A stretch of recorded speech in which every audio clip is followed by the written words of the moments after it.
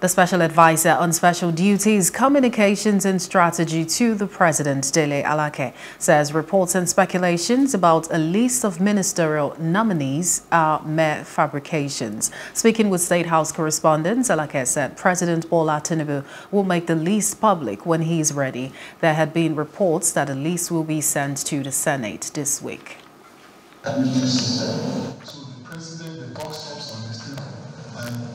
Decides when it's uh, fit and proper for him to uh, make his cabinet list known. Uh, we are not unaware of all the speculations and uh, innuendos and rumors, all kinds of things in the media. But I, as a media man, I, I chuckle to myself that people want to sell, so they just fabricate. I can tell you, all of those things you'll be reading in the media are mere fabrications.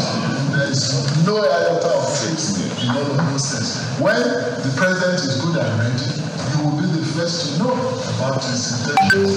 The president, President Tinubu, is still within the time frame. And so there's no issue. Hello. Hope you enjoyed the news. Please do subscribe to our YouTube channel and don't forget to hit the notification button so you get notified about fresh news updates.